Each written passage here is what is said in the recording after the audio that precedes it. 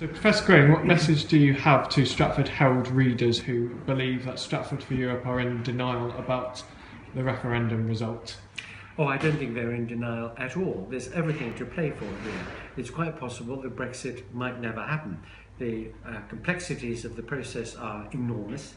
There is a growing body of opinion in the country, not just among Remainers, but among leavers and people who weren't decided beforehand, that this process is showing itself to be very damaging to the UK economy and to the fabric of our society.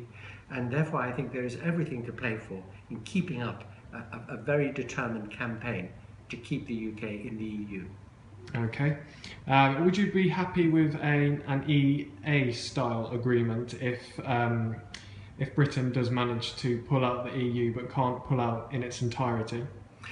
Well, I think uh, anything which keeps us attached to the EU is a good thing, not least because I'm quite certain that there will be a vigorous campaign uh, after a partial or complete Brexit, if either were to happen, to get the UK back into the EU.